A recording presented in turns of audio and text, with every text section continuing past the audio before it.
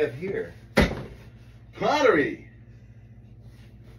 Go figure. Wow. Pot and planta. We pot. We planter. That's We pot. We planter. Hey, this, this right here, Yeah. these are nice.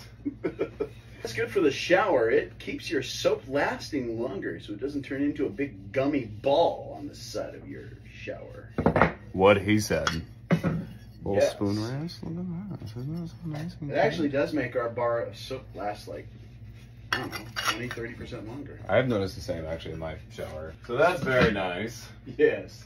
But wait, there's doing it. Those are great for um, balsamic vinegar and olive oil. Those are great for So you can dip your bread in. by the way. baking little cookies in. You can You can, uh, yeah. You put a little cookie dough in here, and you uh, scoop out some ice cream.